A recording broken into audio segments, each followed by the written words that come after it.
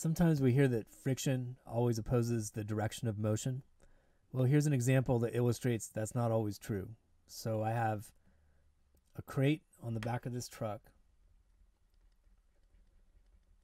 that would otherwise be stationary, but the truck takes off accelerating to the right and the crate come, comes along for the ride. Now, if there was no friction, that crate would just stay in the exact same x coordinate. And by the time the truck was over here, the crate would start falling to the ground. So friction is definitely causing this thing to accelerate in the direction of motion. So that parallel force of friction must be pointing to the right on the crate. And that's a static friction force and the force of gravity is pointing down on the crate. We're not given a mass, so I assume that will cancel out, and I'm just going to call that mg. And then there's a normal force pointing up.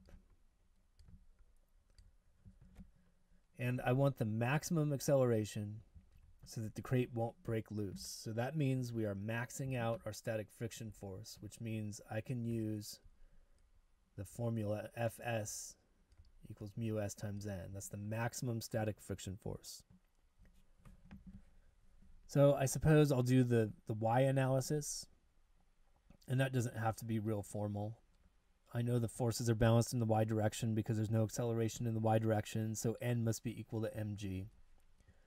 And then I go into the x analysis, applying Newton's second law, and I get, I'll just back up a little and write F net in the x direction equals m a in the x direction, and F net is just that static friction force. That's the only force pointing parallel um, to the direction of motion here uh, and parallel to that surface. So that's just a mu s times n, but that's mg.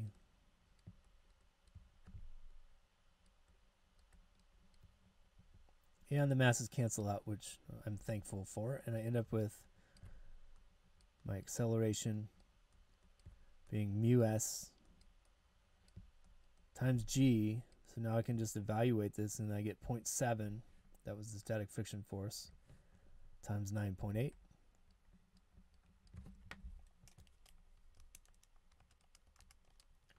I get 6.86